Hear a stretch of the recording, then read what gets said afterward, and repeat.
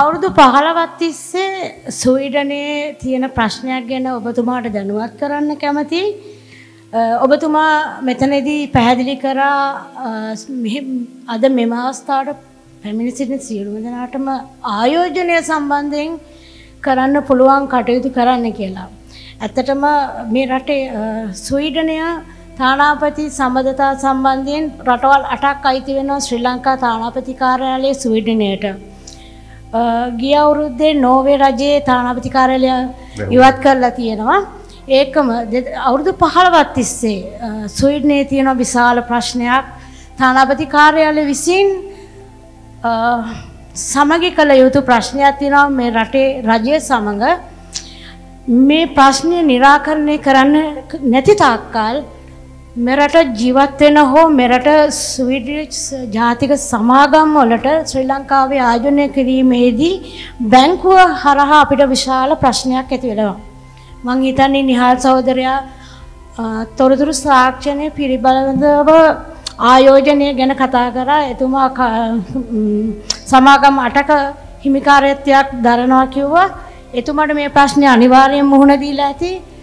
අපි ලංකාවේ තොරතුරු තාක්ෂණය සඳහා අපි ආයෝජනය කරනවා නම් හෝ මෙරට කුමන හෝ ආයතනයක් ආයෝජනය කරනවා නම් මේ අපි මේ යන්න ඕනේ බැංකුව හරහා. නමුත් බැංකුවේදී ශ්‍රී ලංකාව නම හෙච්ච ගමන් ඒගොල්ලන් අපිට ආයෝජනය කරන්න අවශ්‍ය කරන මුදල් යැවීම් කටයුතු සම්බන්ධයෙන් ප්‍රශ්නයක් ඇති කරනවා.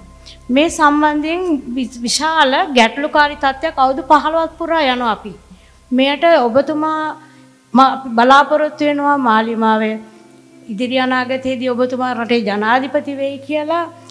ඊට ප්‍රථම ඔබතුමා කරුණා කරලා ඉන්දියාවේ තිබෙන ශ්‍රී ලංකා ස්වීඩිෂ් සොරි සමාවෙන්න ඕනේ ස්වීඩන් තානාපති කාර්යාලයේ තානාපතිතුමා හමු වෙලා ප්‍රතිපත්ති ප්‍රකාශනයේදී ඔබතුමා මේ ස්වීඩනය සම්බන්ධයෙන් ඇති සම්බන්ධයෙන් මේ ගැටලුකාරී තත්ත්වය නිරාකරණය කර ගැනීමට යම්කිසි මාර්ගයක් ඉක්මනින් ගත යුතුයි. ඔබතුමා මේ තත්ත්වයේ ලංකාවේ මැතිවරණයට ප්‍රථමව කිරීමට හැකියාව තිබෙනවා නම් සුදුසුයි කියලා හිතනවා.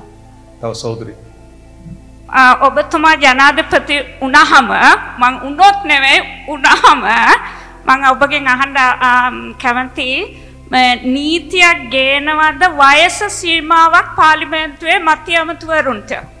දැන් ඉන්න තත්ත්වය ඇත්තටම අවංකවම ඉන්න අය ගොඩාක් අය සමහර අය ඉන්න ගොඩක් උගත් අය ඉන්නවා. නමුත් ඒගොල්ලන් පැත්තක තියලා තරුණ කට්ටියක් දමලා ඒගොල්ලන්ගෙන් ඇඩ්වයිස් ගන්න පුළුවන් නේද?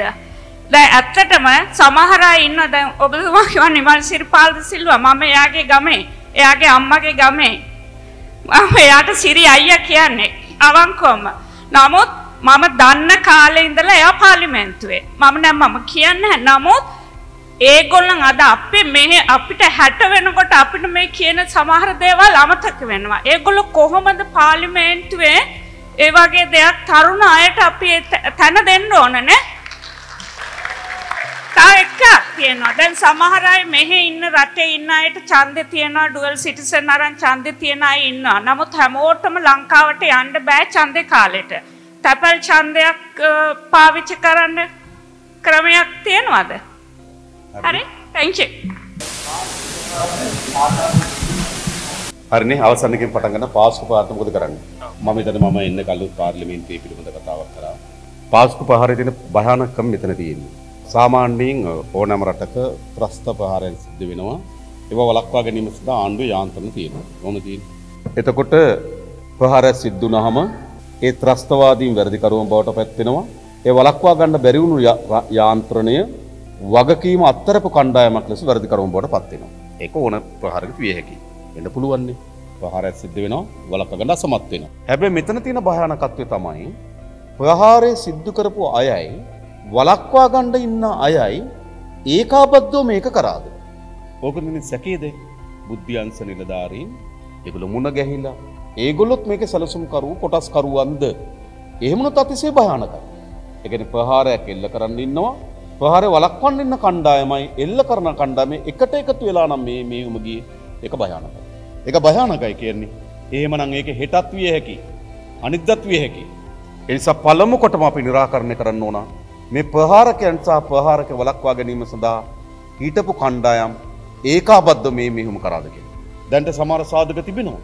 වවුණු තිව්වල පොලිස් නිලධාරීන් දෙදෙනා ඝාතනය කරපුවාම පරීක්ෂණය 27ට යනවා වෙනුවට වෙන අතකට යොමු කරාද?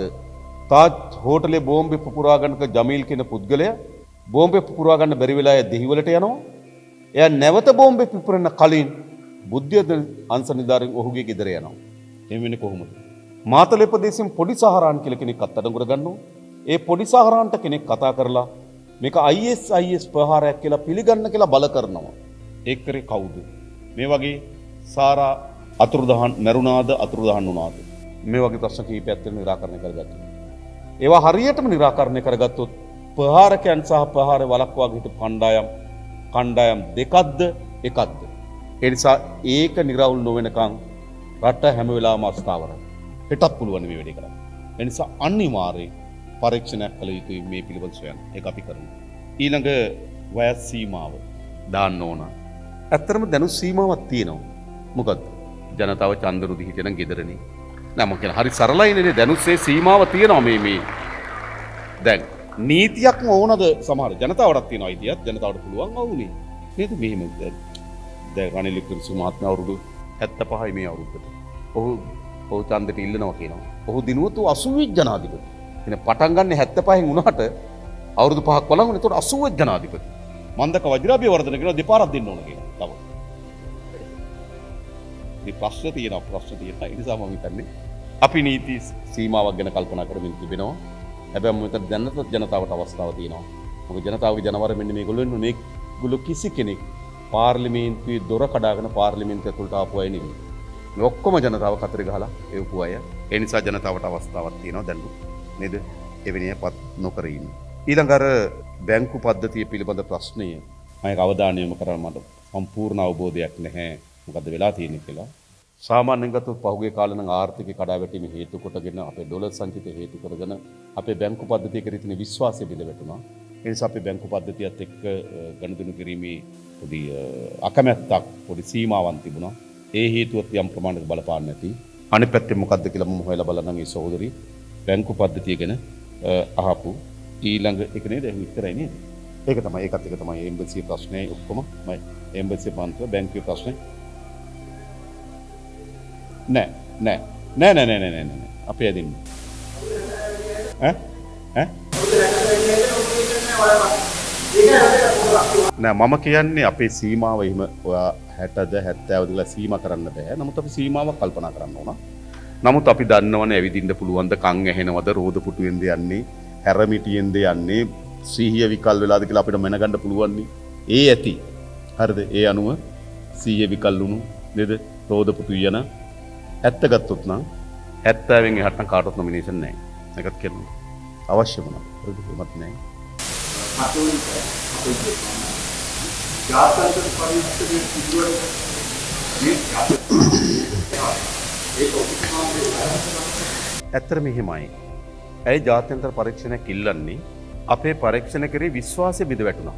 ඒ කියන්නේ මේ පාලකයන් මේ පරීක්ෂණ සිදු කරනවා වෙනුවට පරීක්ෂණ මේ මේ මේ අඩපණ කිරීම සඳහා කටයුතු කරනවා කියලා සැකයක් තියෙනවා. ඒ නිසා ජාත්‍යන්තර පරීක්ෂණ. හැබැයි ඒ කතෝලික ප්‍රජාවට ඒත්තු වෙනව නම් ඉන්න පාලනයම මේක සද්භාවයෙන් විශ්වාසවන්තදායක ලෙස කරනවා කියලා ජාත්‍යන්තර පරීක්ෂණයක් ඉල්ලන්නේ. මම දන්නවා කාදින උන්වහන්සේ මම හම්බෙච්ච වෙලාවේදී කිව්වා දීර්ඝ කාලයක් සාධාරණ පරීක්ෂණයක් ඉල්ලුවා. ඉල්ලලා ඉල්ලලා ඉල්ලලා ඉල්ල බැරිම තැන තමයි අපි ජාත්‍යන්තර පරීක්ෂණයක් ඉල්ලන්න කියලා උන්වහන්සේ කිව්වා. ඒ කියන්නේ මොකද්ද? දේශීය පරීක්ෂණයක් පිළිබඳ විශ්වාසය බිඳවැටුණට පස්සේ තමයි ජාත්‍යන්තර පරීක්ෂණයක් ඉල්ලන්නේ. ඒ නිසා පළමුකොටම අපි කරන්නම් දේශීය පරීක්ෂණයක් පිළිබඳ විශ්වාසය අපි තහවුරු කරන්න. ඒක අවිශ්වාස නම් පමණක් අපි ජාත්‍යන්තර පරීක්ෂණයකට යොමු වෙමු. අපි හිතනවා අපිට දේශීය පරීක්ෂණයක් පිළිබඳ නැවත කතෝලික ප්‍රජාව සහ ඊට අදාළ වින්දිතයන්ගේ විශ්වාසය ගොඩනගන්න පුළුවන් විදිහට අපි හිතනවා. ඒක තමයි හිතන වඩාත් යෝග්‍ය. එහෙනම් අපි අවසන් කරගමු නේද? අර ප්‍රශ්න අර ඡන්දෙ දෙන්න පුළුවන්ද කියන ප්‍රශ්න එකයි ඉස්සලා අපි තව එකක් ඇහුවා. මතක ඇතිවුණේ ඡන්දෙ දෙන්න පුළුවන්ද කියන එක. ඉතින් අපි දැන් ගොඩක් රටවල් වල ගිහිල්ලා මේ විදිහට ශ්‍රී ලාංකීය ජනතාව හම්බ වෙනවා. ඒක දිහා බලපුවාම නම් මේ ඡන්දෙට නම් මේ හිඳන් ඡන්දෙ දාන්න හම්බ වෙන්නේ නැහැ. එහෙම දෙයිද? නේද? නමුත් අපි තේරීම්කාර සභාව පාර්ලිමේන්තුවේ දැම්ම අපේ අ, අ, හඳුන් සහෝදරයාගේ ඉල්ලීම මත පාර්ලිමේන්තු තේරීම්කාර සභාවක් දාලා යෝජනා සකස් කරා විදේශගත ශ්‍රී ලාංකිකයන් ඡන්ද ප්‍රකාශයට පත් කිරීම සඳහා අවස්ථාව ලබා දෙන්න ඕන කියලා පාර්ලිමේන්තු තීරණකර සභාවක් තලතාතු කෝරාල ෆොරින් බියුරෝ ඒ කියන්නේ විදේශ සේවා නියුක්ත කාර්යාංශ භාර අමාත්‍යවරු ඉන්න වෙලාවේ ඒක නිර්දේශයන් තියෙනවා. ඒ නිර්දේශයන් නිසි පරිදි කටයුතු කරොත් විදේශගත ශ්‍රී ලාංකිකයන්ට අ, ලංකාවේ ඡන්දය පාවිච්චි කිරීමේ හැකියාව තියෙනවා. ඉතින් අපි ඔබට දෙන්නම්. අපි මේ වැඩේ කරනවා. හරි. මොකද තමන්ගේ රටේ පාලකයා තෝරගන්න තමන්ගේ රටේ පුරවැසියන් කොහෙ ජීවත් වුණත් ඒ පුරවැසියන්ට අයිතියක් තියෙන්නේ නේද? එනිසා අපි ඒක අපි වළංගු කරන නීතියක් බවට පත් කරනවා. ඉතින් මේ කරුණ ටික තමයි අපිට අවසන් වශයෙන් කියන්න තියෙන්නේ. ඉතින් ඔබට හැම දිනකටම ස්තුතිවන්ත වෙනවා. අපි මේ වැඩේ කරමු. බලය ලබා ගැනීම පමණක් නෙවෙයි මම කලින් කිව් පරිදිම. බලය අරගෙන අපි මේ රට ගොඩනගමු. ඒ වෙනුවෙන් අපි සියලු දෙනාම එකතු වෙලා වැඩ කරමු. එහෙනම් බොහොම ස්තුතියි. හැම දිනකටම නේද? එන්න අතර වෙනවා